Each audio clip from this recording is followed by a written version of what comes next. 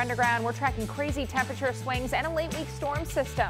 After a cold and free brings us snow, it's been a little while since Chicago's seen uh, some big.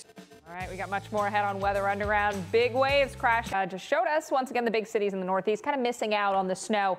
A growing trend, and climate specialist Carl Parker is with us to talk about why we're seeing fewer snowstorms. Temperatures across the Northeast are going to be uh, rebounding. So again, we get in. All right, well, Christmas just 17 days away, so it's time to get serious about that shopping. Inform you up very much today. Uh, still in the 40s uh, now at this point, uh, 45 at the reporting site uh, with a wind chill of 45. So there's the good news. We don't have much of a wind to speak for, so it's not like it's feeling much colder than the already very cold temperatures for you, right? Florida, you're like, that's not why we come here. We come here to avoid this.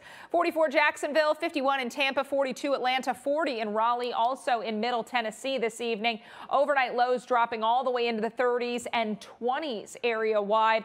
When we talk about uh, the Atlantas, the Raleighs, uh, the Montgomerys and Charleston, Charleston dropping to around freezing. Look at Jacksonville, Florida, 34 for you. Now Tampa, places like Orlando dropping into the upper 30s 30s and 40s. And so that has triggered some frost advisories from parts of southeast Georgia all the way down through the middle part of the state of Florida. So if you're not along the coast, good chance you are under that frost advisory with those temperatures uh, for some areas dipping into the upper, even mid 30s out there. Now, by the afternoon on Wednesday, we're back to around 60 in Atlanta, 64 Montgomery. So we'll warm up more than today, and we'll see that trend continue. Thursday morning, not going to be as cold as Wednesday morning and Thursday Thursday afternoon warms compared to tomorrow as well. Uh, Thursday morning temperatures, how about low 40s in Charleston and Jacksonville, uh, mid 40s for Shreveport, Louisiana. So still cool, but not quite as chilly as uh, the way we've started the week. Uh, in Orlando, we've got uh, the next 24 hours mapped out for you. It is the overnight and early part of your Wednesday. That's going to bring those temperatures into the upper 30s, 39 your uh, likely low. By the afternoon, though, you can see well into the 50s with highs right around 60 degrees. So more comfortable to be out and about later in the day. Miami, your highs in the mid 60s. Morning lows, though, starting off in the mid and upper 40s. So going to be cool there in South Florida. As we said, Mark, I know everybody's going to be wearing all of their winter gear. You don't get many opportunities to really bundle up so tomorrow will be one of those yeah, days. If they have any. As well, you're going to be seeing those highs 10, 15, 20 plus degrees above average as we uh, head into the next part of the week. And it's not limited to the central U.S. A lot of the country, uh, at least the eastern two thirds of the country, feeling the warmth. And that follows where we were for the month of November. We look at our November temperatures and the departure from average, uh, well above average, where you see that orange shading. So particularly across the northern tier and central part of the country with other areas is getting in on that warmth as well.